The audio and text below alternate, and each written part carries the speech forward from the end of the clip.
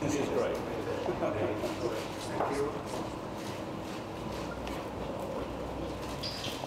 But as far as the city's concerned, um, you know, we've known Brexit's coming.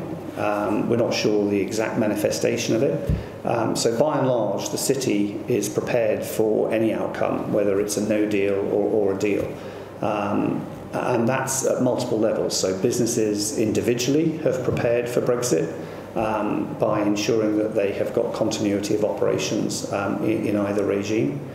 Secondly, uh, the regulators um, have ensured that we've got continuity um, of liquidity and structure um, through deploying temporary measures both in the UK uh, and in the EU. And we saw the latest announcement of that yesterday with the ECB with regard to derivatives.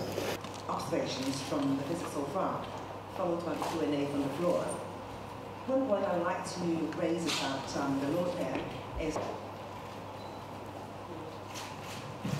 Okay, can we start now?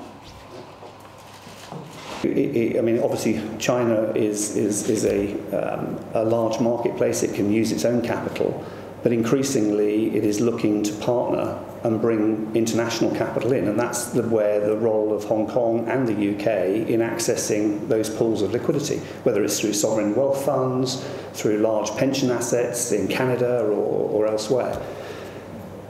And what they look for is a degree of independent rigour. I mean, if you're putting a couple of billion pounds into a project, you're not going to entirely rely on the, the project owner to say, well, you know, here's, here's what it's going to happen, you know, here's the sort of the, the forecast, etc.